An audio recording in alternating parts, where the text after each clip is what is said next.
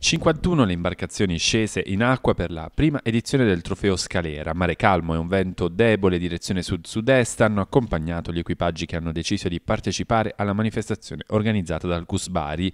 Andrea Scalera, 37 anni, ha perso la vita in mare mentre faceva kitesurf nel novembre del 2013. Dopo le veleggiate per ricordare il giovane amante del mare nel 2014 e nel 2015, il Centro Universitario Sportivo ha condiviso con la famiglia di Andrea la volontà di strutturare l'evento con una doppia finalità agonistica istituendo il trofeo e sociale tramite una raccolta fondi in favore della Olnus Emergency. In particolare quest'anno con i fondi raccolti per la regata sarà acquistato un generatore elettrico che andrà ad alimentare il nuovo progetto mobile Altbox.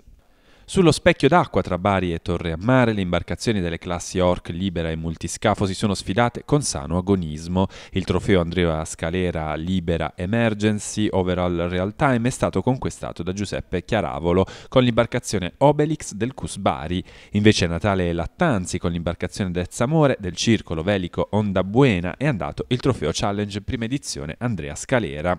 Premiati nel corso della serata i primi tre di ogni raggruppamento dal presidente e vicepresidente presidente del Cusbari Giuseppe Seccia Beppe Angiulli e dal presidente della FIV regionale pugliese Alberto Lategora.